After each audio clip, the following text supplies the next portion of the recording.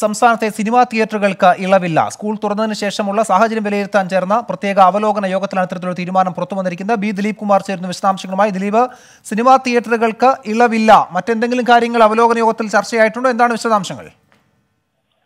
John ഇന്നത്തെ അവലോകന യോഗം പ്രധാനമായും ഈ സ്കൂൾ തുറന്നതിന് ശേഷമുള്ള സാഹചര്യങ്ങളാണ് വിലയിരുത്തിയത്. സിനിമാ തിയേറ്ററുകൾക്ക് ഇളവ് അനുവദിക്കേണ്ടെന്നാണ് ഈ യോഗം തീരുമാനിച്ചിരിക്കുന്നത്. ഇപ്പോൾ പകുതി സീറ്റുകളിലാണ് പ്രേക്ഷകരെ പ്രവേശിപ്പിക്കാൻ അനുവദിച്ചിട്ടുള്ളത്. എല്ലാ സീറ്റുകളിലും പ്രേക്ഷകരെ അനുവദിക്കണം എന്ന ആവശ്യം തിയേറ്റർ ഉടമകൾ മുന്നോട്ട് വെച്ചിരുന്നു. പക്ഷേ ഇന്നത്തെ യോഗം ഈ ആവശ്യം പരിഗണിച്ചില്ല. നിലവിലെ സ്ഥിതി തന്നെ തുടരുന്നതിനുള്ള തീരുമാനമാണ് ഇപ്പോൾ ഈ അവലോകന യോഗം കൈക്കൊണ്ടിരിക്കുന്നത്.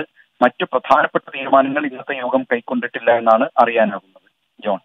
ശരി വി ദിലീപ് കുമാറാണ് വിശദാംശങ്ങൾ നൽകുന്നത്. സംസ്ഥാനത്തെ തിയേറ്ററുകൾക്ക് ഇളവില്ല. എല്ലാ സീറ്റിലും പ്രവേശനമെന്ന ആവശ്യം അംഗീകരിച്ചിട്ടില്ല. പകുതി സീറ്റുകളിൽ തന്നെ പ്രവേശനം തുടരുമെന്നുള്ള തീരുമാനമാണ് ഇന്നത്തെ കോവിഡ് അവലോകന യോഗം എടുത്തിരിക്കുന്നത്.